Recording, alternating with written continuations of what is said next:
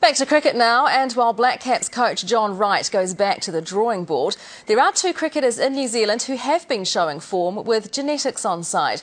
Siblings Pete and Sara McGlashan grew up playing backyard cricket in Napier and are now both playing for their country. Rachel Tiffin has more. Backyard styles. Chucking a ball Throw it, man. You're lucky I don't throw like a girl. With her closest rival.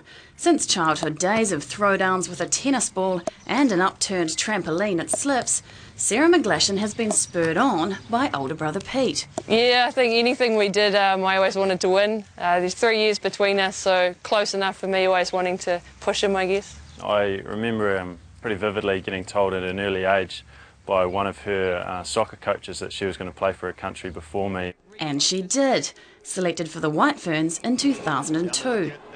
Not that Pete lets it go to her head.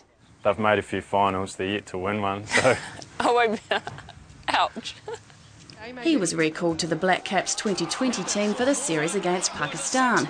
And in the first match on Boxing Day, stamped his presence with four catches and that trademark reverse sweep to win it.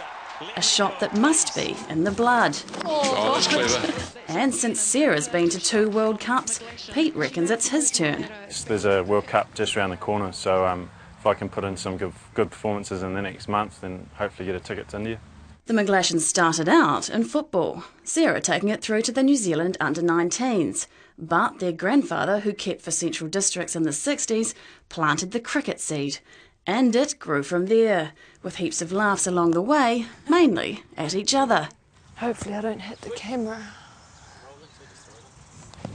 Oh, Jesus! Hit that foot and smacked me in the knee. He's just fielding for a reason. But the McGlashans will be all business when they don the silver fern this year. Oh, you got gloves on because you can't catch. Rachel Tiffin, 3 News.